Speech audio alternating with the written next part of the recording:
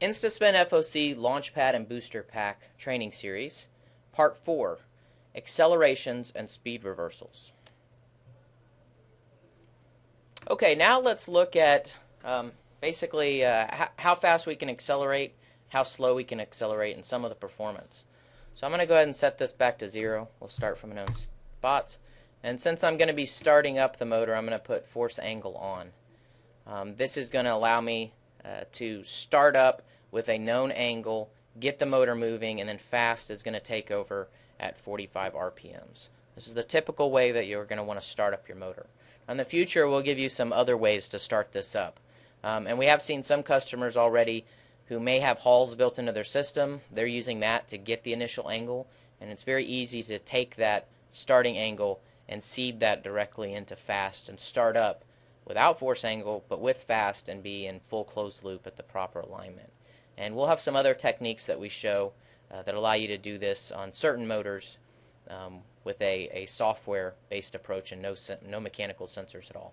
But for now, let's see um, how fast we can, we can accelerate. So this is a 4,000 RPM motor, no load. So let's see if we can go to 4,000 RPMs.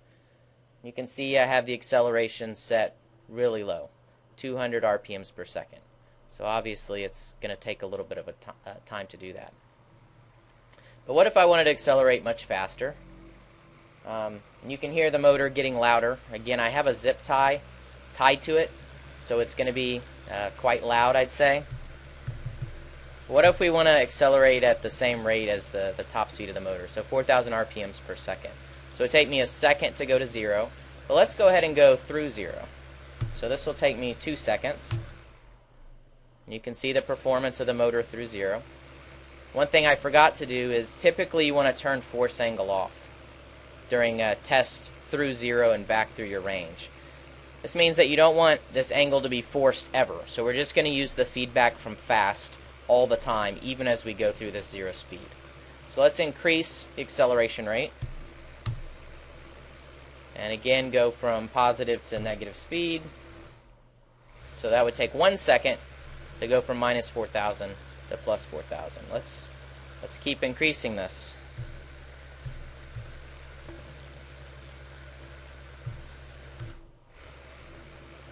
You can see it's performing quite well.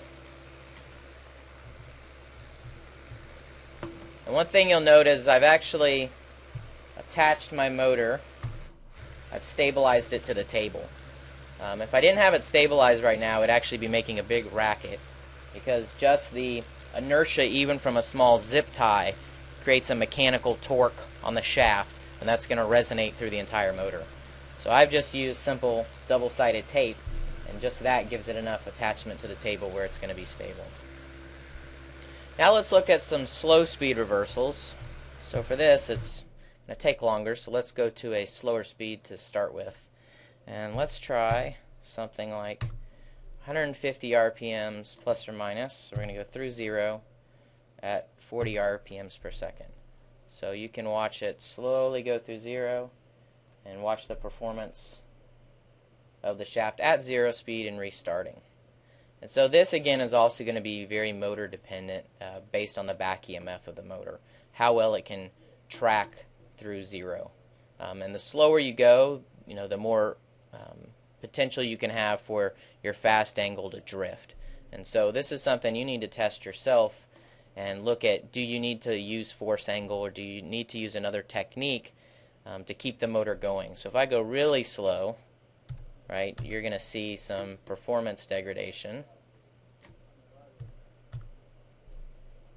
As the, the motor gets into this space, you know, in between plus and minus one hertz where we saw it didn't perform well, where it's it's also going to lose its angle. And so I'm going to provide a little bit of load just to give it a little bit better signals into to fast. It's slowing down, slowing down, slowing down.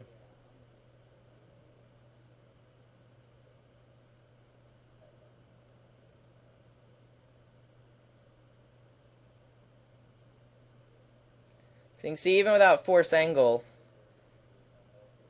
it does move in the right direction. It does begin to start up again. Uh, but what, what you'll see is that uh, you may get more um, realignment near zero speed. You may get a bigger movement at a fast as the, the estimator becomes slightly contaminated and then it takes a big jump in the angle in the next um, in the next control cycle. So one thing force angle can do is keep that angle uh, being iterative, keep moving it in the right amount for each control cycle to keep that angle uh, stable. So that's something you really have to look at for your system. Again, if you're doing faster accelerations, you're typically going to have force angle off. Um, fast will keep up. Um, but if your um, feedback into the system is uh, isn't good and it you keep getting not good data into the system for a continued amount of time, then you're going to get some drift in the error.